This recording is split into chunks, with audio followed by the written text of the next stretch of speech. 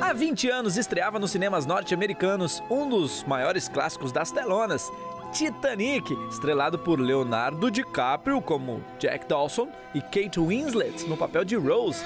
Com direção, roteiro e coprodução assinados por James Cameron, o longa é uma história de ficção baseada no naufrágio real do RMS Titanic. A produção do longa começou em 1996, quando Cameron filmou os verdadeiros destroços do navio. Já as cenas mais modernas foram filmadas em um navio de pesquisas russo que o diretor usou como base para filmar os destroços. Além disso, a equipe de produção construiu uma réplica do Titanic em Playas de Rosarito, no México. Com um orçamento de 200 milhões de dólares, o filme custou mais que o Titanic oficial.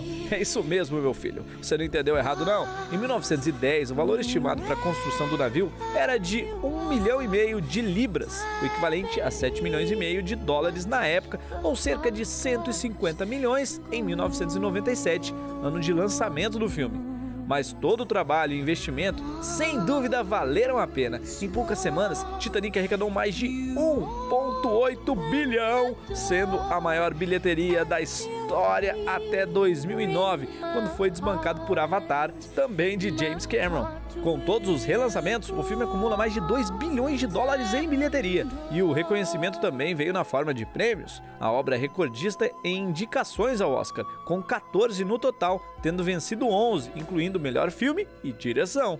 Bateu saudade da inesquecível história de amor entre Rose e Jack, contada ao som de My Heart Will Go On? Então, solta um trechinho do longa aí pra gente, amigo de tudo.